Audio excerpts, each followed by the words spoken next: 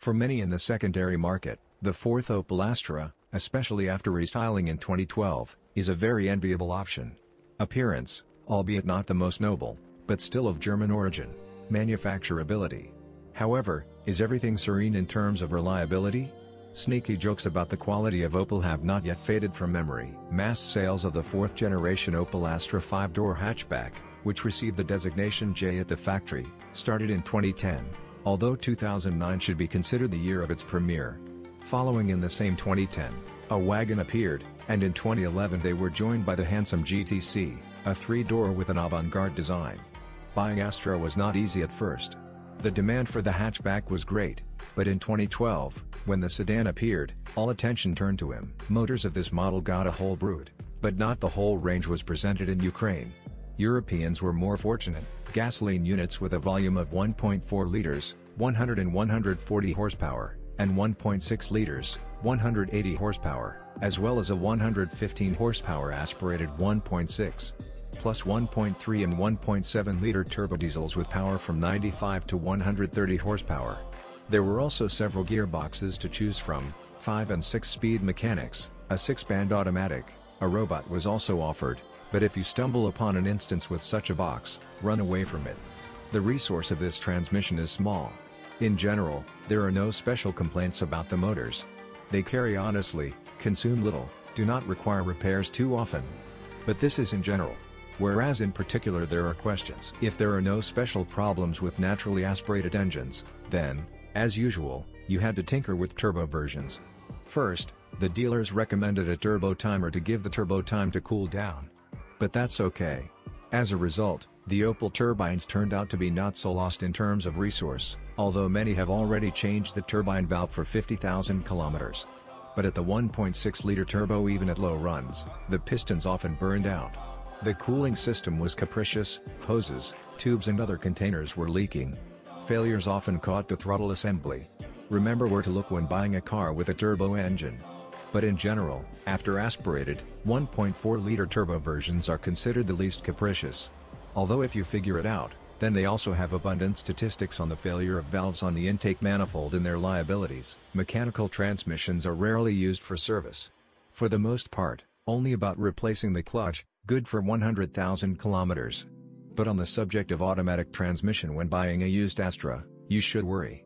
Many, if you believe the forums, it is because of her that the car is being sold. When buying, pay attention to the box radiator. When it, or its hoses and pipes, is depressurized, the performance of the transmission is a big question. And not so much because of overheating, but because of the ingress of liquid into the hydraulic circuit of the box. To be honest, the quality of the Opel Astra resembles a zebra. Reviews about the car are strictly opposite. And positive just as for the sake of more. However, it is obvious to everyone that in terms of reliability, the guys from Rüsselsheim lost to their main competitor VW Golf with a devastating score.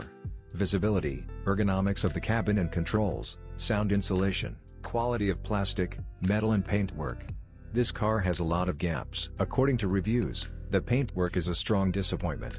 Not only is it easily scratched even in the sink, many complain about peeling paint. Among the problem areas are thresholds, trunk lid, bumper and fender joints. A fair amount of complaints falls on the interior of the car. If purely visually, then everything is very, very decent. A little scary only excessive and slightly chaotic abundance of buttons. But in operation unpleasant things are found out. It is not so easy to expel crickets from the salon. Tightness is no good, outboard moisture can get into the cabin. And there are not one or even two ways of its penetration. Frequent failures in the operation of electronics force many to even sell a car whose driving characteristics they are basically satisfied with. So an experienced buyer will always find plenty of reasons to drop the price. Current radiators, oil seals, non-working electrical appliances, it is worth taking a closer look at the glasses, especially the windshield. Vibrations and noise during braking will give out gun brake discs. Especially in cars with a top-end engine, where the discs have a diameter of 321 mm. The suspension deserves special words. Opel was not able to stop her sores for many years. Take, for example, the problem of tie rod ends. The part is inexpensive, but you will have to apply for it much more often than usual. Rarely nursed more than 30,000 km. It happened that already by 50,000 kilometers, the shock absorbers began to cry and tap. The rear multi-link is also not ideal. Load spent rods. The frail rear silent blocks of the front levers abuse the attention and time of a car mechanic. In a word, much of this can be revealed if you do not yawn when buying. You will have to choose, and it may not make sense to pay attention to annoying little things. Whatever one may say, the net operational resource of this model, given the generally acceptable cost of the car and its components, is quite high. Perhaps, for many, Opel Astra will be a happy and successful choice. The traditional McPherson strut front suspension is generally durable. Shock absorbers serve an average of 100,000 km, but they begin to sweat much earlier. The stabilizer struts live a little less. In steering, tie rod ends can live up to 70,000 km, but usually they begin to play much earlier. 6-speed manual gearboxes are quite successful in holding loads. But with aggressive driving, the synchronizers of the third and fourth gears do not withstand, which cannot be called a systemic ailment. But with the automatic transmission, the cooling system of which is tied to the engine, problems are not uncommon. Oil seals, pipes of the cooling system are leaking, and overheating the box entails more costly problems. The first suspect for a lack of fluid in the cooling system is the thermostat. Especially for cars made in 2010 to 2012. Replacing the gasket will solve the problem, but most likely not for long. The expansion tank also flows willingly, a well-known problem.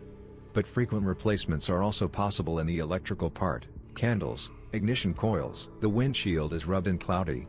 Water can enter the passenger compartment through a defective air conditioning drain hose, a leaky brake light above the fifth door glass, or an air intake under the windshield trim. Many are annoyed by the creak of the instrument panel visor, which has to be glued with a sealant. Wipers leave a fair amount of glass uncleaned. It happens that the reflectors of the additional turning section in the headlight melt. A faulty brake pedal sensor will cause the brake light to come on spontaneously or the cruise control to reset.